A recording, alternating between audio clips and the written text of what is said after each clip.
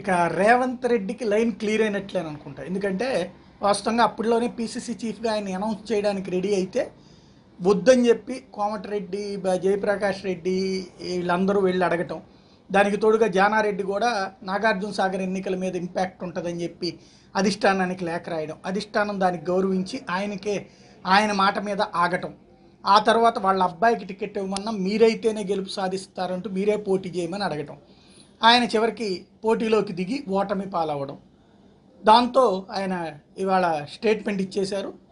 తెలంగాణ ఏర్పాటు సందర్భంలో తనకి గౌరవం ఇచ్చారని అట్లాగే అందుకు ప్రతిగా ఈ రోజున వద్దనుకున్న రాజకీయాల్లో త- కొనసాగాను. ఈ ఎన్నికలతో లాస్ట్ ఇక పైన రాజకీయ విమర్శలు చేయను. అలాగే రాజకీయాల నుండి తప్పుకుంటున్నాను దీంతో ఇంకా రేవంత్ రెడ్డిని పీసీసీ చీఫ్గా అనౌన్స్ చేసేటువంటి అవకాశం లేదా ముఖ్యమంత్రి అభ్యర్థిగా అనౌన్స్ చేసే అవకాశం తను పాదయాత్రకి సంబంధించినటువంటి అవకాశం ఉంటుందన్నటువంటి చర్చ నడుస్తోంది.